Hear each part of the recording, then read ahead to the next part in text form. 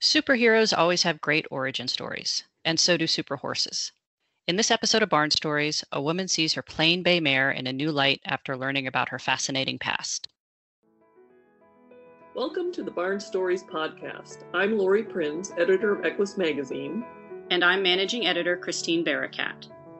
This podcast features our favorite essays and articles published in Equus over the past 40 years. Although Equus is known for articles on horse care and veterinary research, our editorial mission has always been guided by the bond that exists between horses and people. And each issue has featured a real life story that celebrates how horses enrich our lives and touch our hearts. We've searched our archives, chosen the stories that resonated with our readers, and given them new life in this audio format. Longtime subscribers may recognize some of their favorite pieces. And if you're new to the Equus community, these stories will confirm that no matter what sort of saddle you sit in, a deep emotional connection to horses is something we all share. The story in this episode starts out with a familiar narrative. Two young sisters become the owners of an ordinary mare. While the mare, named Dancer, seems like nothing special, she suits the girls' needs just fine. The next chapter of the tale is also familiar as Dancer works her way into the heart of the youngest sister, who begins to appreciate the mare's true value. The story takes a twist when, through serendipitous conversation, Dancer's past is revealed. We won't spoil the story for you, but suffice to say the unremarkable mare turns out to be anything but. She had already lived a life of adventure and accomplishment before coming into the lives of the sisters. And the more her owner learns about her mare's past, the more she realizes her good fortune in getting to be part of her life.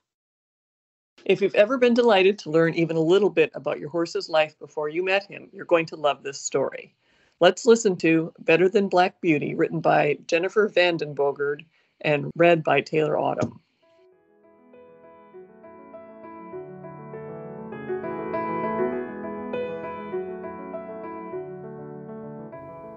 To see the old bay mare grazing in her field, her goat leaning up against her leg, you'd think she was nothing more than an aged kid's horse.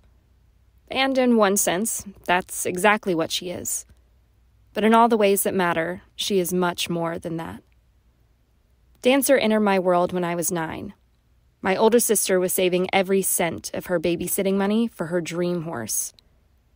I'll never forget the day our horse expert friend called to say he finally found a candidate for my sister.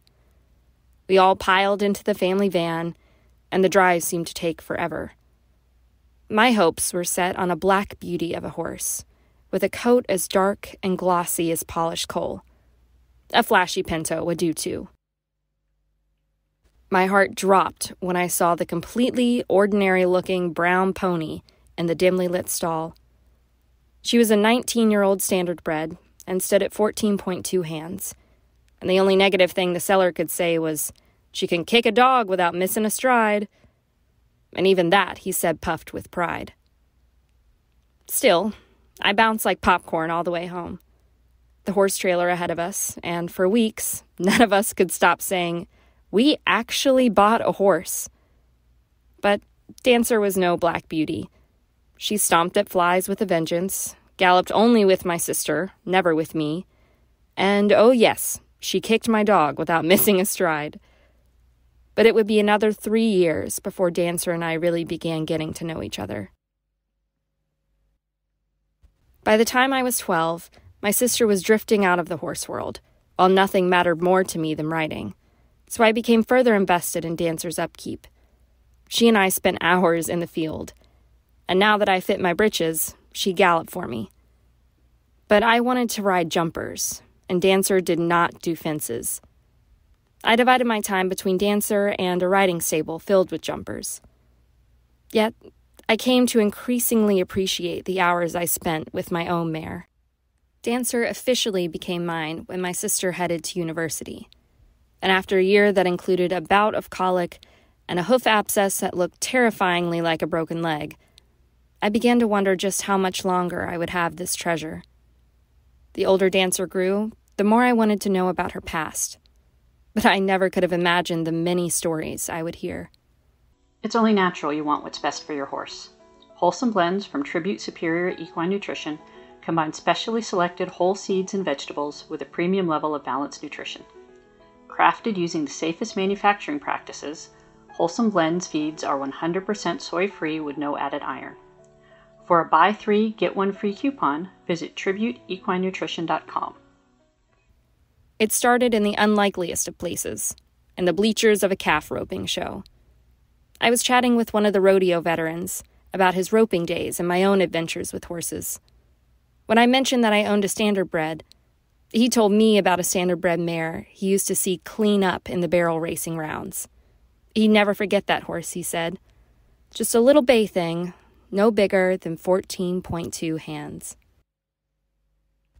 Once home, I made a few phone calls and managed to reach the man we bought Dancer from years ago. Her previous owner, a woman, had boarded Dancer at his farm for 15 years. I thought I'd have to jog his memory, but he remembered my mare the instant I said her name and spoke of her fondly. Dancer had been a racehorse, retired at the age of two. She was picked up by a horse dealer after it became clear that she didn't see the point of racing at the trot. But that didn't mean she didn't love speed. She was indeed the same horse who had already become that amazing barrel racer I'd heard about. She loved to run, and even at the boarding farm, she and her owner participated in many match races. In fact, one day the owner of a certain quarter horse had bragged a little too much about her horse's speed so Dancer's owner challenged her to a match. They burst off. When the quarter horse reeled to a halt at the verge of a steep embankment, Dancer kept right on going. Some winters, Dancer and her owner would skidoo, galloping through the snow with a skier in tow. And in summers, they explored the trails. One day, on a bad path, Dancer sank to her neck in swampy quicksand. Her owner ran for help in tears certain that her mare would panic and drown in the thick soup. But Dancer was standing and waiting patiently when she returned. When people ask me how old Dancer is today, she's 29. And then they ask what the average lifespan is for a horse, I see empathy. Still, Dancer looks better than any senior horse I've known, and I'm expecting her to continue to do well, as she always has. I've decided that Dancer and I no longer owe each other anything. We've given each other all we need to give, and now we're just enjoying one another's company. Dancer has left her hoofprint on many hearts.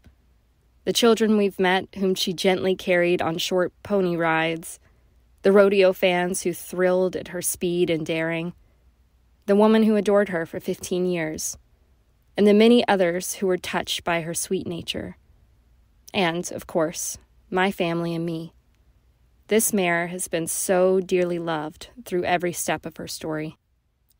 Dancer didn't have to capture my heart at first sight, when I was still so smitten with childish fantasies about black beauty. She'd win me over in the long run.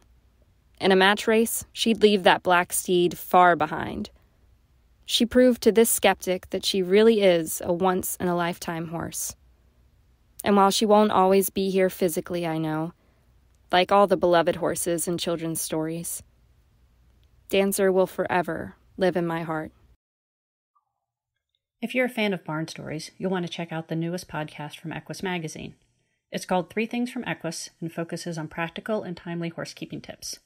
You can find it right now on SoundCloud.com and on iTunes and other podcasting platforms. Thanks for listening to Barn Stories. We hope you enjoyed this episode.